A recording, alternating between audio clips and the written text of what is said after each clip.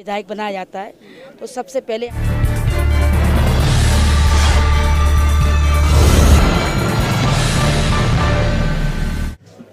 नमस्कार, आपकी जन अदालत न्यूज़ से मैं हूँ राजा भैया पाल और इस समय तो इस समय हमारे साथ रजनी श्रीवास्तव जुड़ी हुई हैं। महिला कांग्रेस की जिला अध्यक्ष हैं। जिस तरीके से महंगाव विधानसभा से जो आवाज़ें सामने आ रही हैं, जो लोग बता रहे हैं कि आप महंगाव विधानसभा से कांग्रेस की तरफ़ से उम्मी- उम्मीदवार के रूप में दावेदारी पेश कर रही हैं।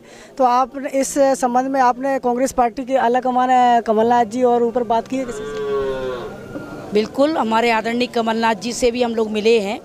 मैं तीन बार की जिला पंचायत सदस्य हूँ और जिस एरिया से आज हम लोग बैठे हुए हैं, ये मैं यहाँ से भी जिला पंचायत सदस्य रही हूँ और हमारे क्षेत्र की जनता का बहुत समर्थन है मेरे लिए, बहुत प्रेम है।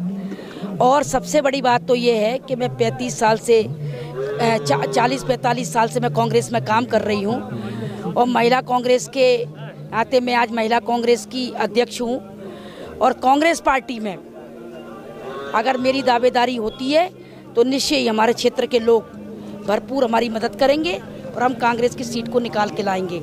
हमारे आदरणीय डॉक्टर गोविंद सिंह जी का हमारे लिए समर्थन है और उन्होंने हमेशा हमारी मदद की है।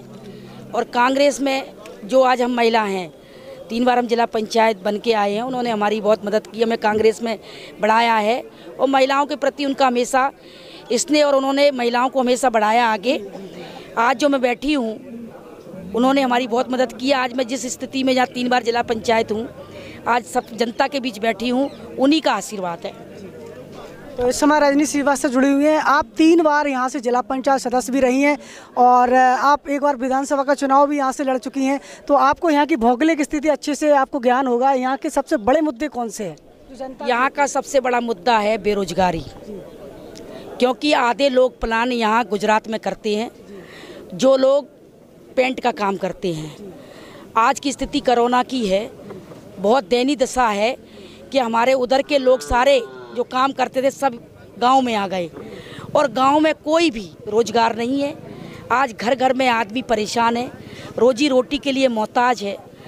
तो हम ये चाहेंगे कि हमारी सरकार बने और हमारे यहाँ ये लोग मदद भी करेंगे। तो सबसे पहले हमारे जो युवा, हमारे भाई है, उनको रोज़गार की मुहैया कराया जाए।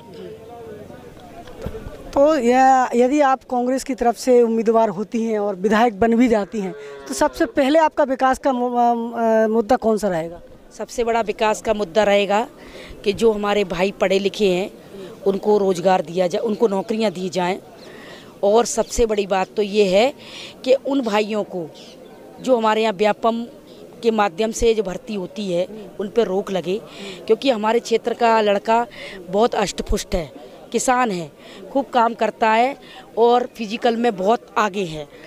मगर थोड़ा सा क्या है कि यहाँ की वो स्थिति पैसों, पैसे के कारण वो ट्यूशन या कोचिंग नहीं कर पाता तो उस चीज़ में वो थोड़ा सा पीछे रह जाता है। तो हम ये सोचते व्यापम के माध्यम से ना सीधी भर्ती की जाए और सबसे बड़ी अगर मैं, मेरे को चा, वो मिलता है समय, वो मुझे विधायक बनाया जाता है तो सबसे पहले हमारी एक प्राथमिकता और रहेगी कि जो हमारा यहाँ का बेरो जो पढ़ा लिखा व्यक्ति ज़्यादा नहीं है, उसको शासन के माध्यम से, उसको कोई भी छोटे छोटे अपने जो कार्यक्रम छोटे छोटे जो उद्योग हैं छोटे छोटे जैसे जो दुकानें हैं, उनको कराई जाएँ, अपने कई स्कीमें ऐसी हैं, जिससे वो अपने घर में यहीं रह के काम करें उनको कोई ना कोई ऐसा रोज़गार का माध्यम मिले, जिससे वो अपना ठेला है। जैसे बहुत से लोग हमारे इधर एरिया के गुजरात में पानी की टिक्की का व्यापार करते हैं तो उनको वो पैसा मिल के वो अपने शहर में भिंड में, मेहगांव में गोरबी में, लहार में अपना व्यवसाय कर सकें छोटा छोटा व्यवसाय कर सकें। और जो लोग हमारे यहाँ पढ़े लिखे लोग, लड़के हैं, जो लोग हमारे यहाँ युवा हैं इन लोगों को नौकरी का विशेष तो रोज़गार की बात हो गई विकास की तरफ़ देखा जाए तो यहाँ जिसकी जिस प्रकार से गोहद में इस समय पानी की विकराल समस्या बनी हुई है महंगाओं में यहाँ पे एक बहुत बड़ी वो है। अगर मैं एमएलए बनी और मुझे टिकट दिया तो सबसे बड़ा मुद्दा है हमारे क्षेत्र में पानी का।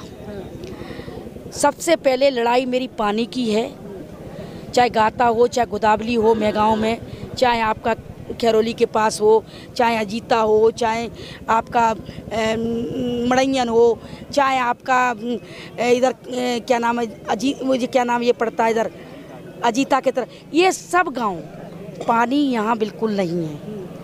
पानी की सबसे बड़ी समस्या है, अगर मुझे भगवान चांस देता है और सरकार मुझे एमएलए के लिए तैयार करती है तो आप निश्चित मानना, मेरा सबसे बड़ा पहला मुद्दा रहेगा पानी का। कि यहाँ पे किसानों के लिए ट्यूबवेल हेडपम्प ये पानी की व्यवस्था यहाँ की जाए।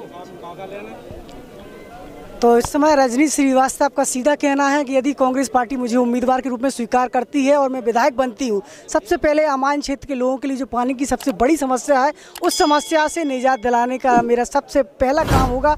तो आपकी जन अदालत न्यूज़ के साथ विस्तार से हमने चर्चा की है। तीन बार से जिला पंचायत सदस्य रही हैं। रजनी श्रीवास्तव महिला कांग्रेस की जिलाध्यक्ष हैं। लगातार जुड़ी रही है महंगाव विधानसभा के साथ और महंगाव विधानसभा इसके लोग इस समय हमको देख रहे हैं। इस चैनल से आप माध्यम से रजनी से कुछ कहना चाहते हैं तो कमेंट बॉक्स में लिखिए और इस चैनल को सब्सक्राइब कीजिए, लाइक कीजिए, जुड़े रहिए हमारे साथ। नमस्कार।